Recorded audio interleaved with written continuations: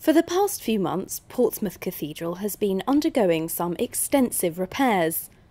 As well as structural works to walls and roofing, a more decorative but no less important element of the church is getting a revamp. The cathedral's weather vane, known as the Golden Barque, has sat atop the cupola for more than 300 years, becoming a welcome sight for homecoming Portsmouth ships. The barque is, is one of these symbols, I think, of, of the city of Portsmouth. I mean, the cathedral's been here for 800 years. Um, and the barque itself uh, has been you know, there at over 300 years, about 1710 or so. And it was one of these symbols that you know, uh, sailors and mariners coming into the city would have seen. And I think today, uh, you know, people especially who come and visit Old Portsmouth, they, they see that ship. And um, it's just so nice to see it being restored again and, and hopefully putting another lease of uh, life and service for many years to come for people to enjoy. A landmark to mariners and residents of the port city. Over the years, the Golden Barque has gained an almost mythical status. Legend has it that when the old barque was brought down for repairs, mothers from around the city would gather and place their babies inside it. It was believed that this was good luck and would stop their children from dying at sea.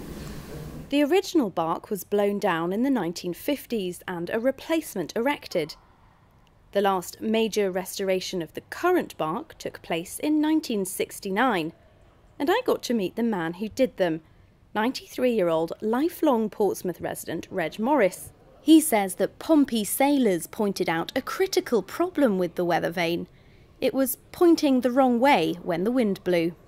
The sailing club got in touch with the architect and said when the wind was blowing, the ship was off course. The weather vane. And could they extend the scaffold up and put that right? Well, the scaffold was extended, and now it was chosen to go out there and see what problem was. It.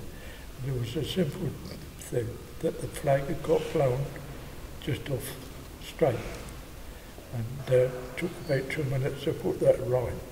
That I told Mr. Mason that I would have to strut it up to stop it from happening again once we took scaffold down. And that's what, how it all came about. And then when I got to hear it was being brought right down in the cathedral, I was rather anxious to come right and see if the struts that I put on 47 years ago were still there.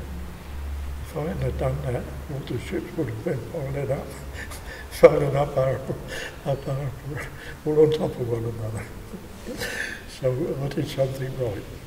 Reg's repairs have survived Portsmouth winds until this day and will continue to be a part of the reinforced and newly regilded barque. You know, it's so different to be standing up there working on it and knowing they regilt. It's a beautiful thing now. And I'm just as glad to see that what I did is still there. Didn't need altering it. The Golden Barque will go back onto the cupola for residents and sailors to enjoy once again when repairs to the cathedral are complete in early 2016. Charlotte Briere-Edney, that's Solent.